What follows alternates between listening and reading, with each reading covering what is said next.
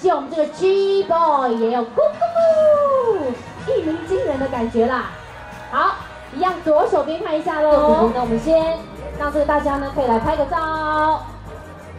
希望我们这个冠军的这个数目还能够持续不断的向前推进，继续努力。曹大哥，今天今天天气非常好，是。这么多丑八怪，我 也要被骂一下，我一起被骂再哇，我。们骂我们曹大哥，曹大哥。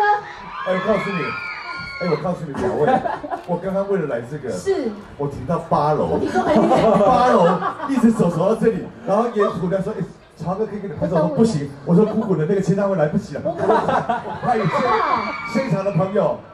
来讲一下曹大哥的至理名言。好你不喜欢看到我，我更讨厌看到你。丑八怪。掌声鼓励鼓励，谢谢你们。大哥就买几位瓦林哦，哦，俩没调呢。来，右手边麻烦曹大哥，姑姑右手边看一下下，谢谢曹大哥，真的今天人来还送这个好礼物哦，很实用。那成绩这么好，工作这么忙，那欠曹大哥的歌会不会到时候不要哈等更久？其实曹大哥那时候跟我讲的时候，我就很想要帮他写，可是因为曹大哥是有呃有很多故事的一个人，我不想要把他的歌写得太表面，所以我必须要花多一点时间呃做一点功课，包括从他以前的呃成绩啊等等的，然后他的历程去写这首歌，让这首歌可以成为他很，我希望是成为他。